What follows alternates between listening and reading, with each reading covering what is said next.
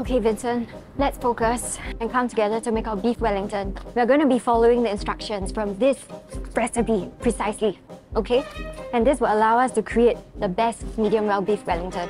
Alright, first of all, it says that we have to wrap the beef tightly and allow it to chill overnight. Don't have that time. Now, we don't have time for that because this is due in an hour, so we're just gonna have to work our way around it, but we can figure this out later on.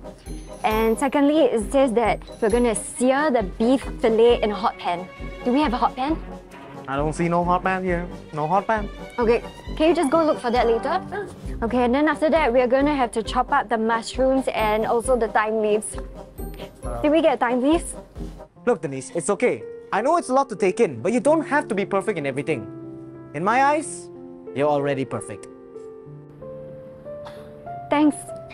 But it sucks to feel so incapable at something that seems so simple. Something that everyone is so good at and they even have fun doing. If only cooking were as simple as the Birch and Swinnerton Dyer conjecture. And you know, even in art class, I only managed to pass because Jianhao helped.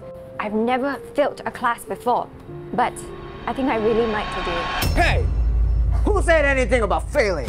Denise, let's cook! Denise, how's the pastry? It's looking good. Denise, pass me the salt!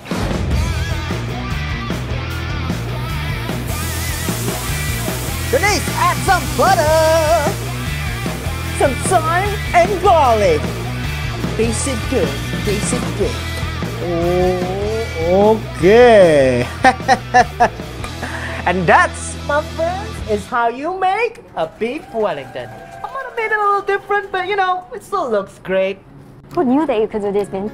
Well, Popo only knows how to make bland porridge, so I had to pick up a thing or two.